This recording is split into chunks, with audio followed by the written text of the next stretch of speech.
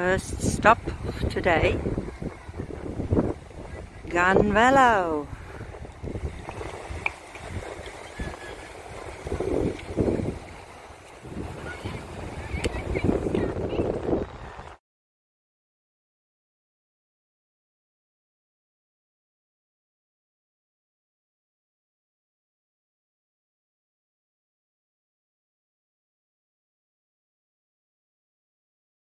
My favorite place on the lizard.